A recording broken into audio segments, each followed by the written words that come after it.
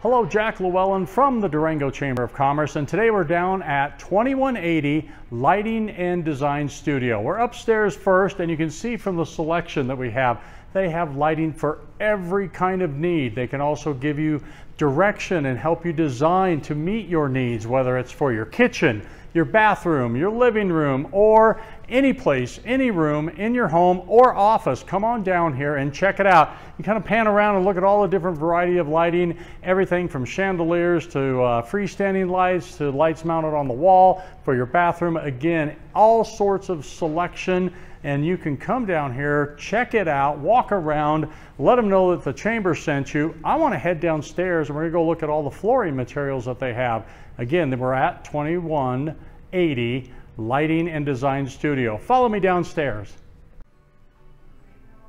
Now we're downstairs here at 2180 Lighting and Design Studio. This is where they have all their flooring materials. They have everything from hardwood floors to tile to mosaics. You can come in they will help you find what will work for your decor, whether it's your home or your office. And again, they're conveniently located right here at 22nd and Main. So come on down to 2180 Lighting and Design Studio and shop, check it out, all the different colors, all the different designs. You'll find something that meets your decor.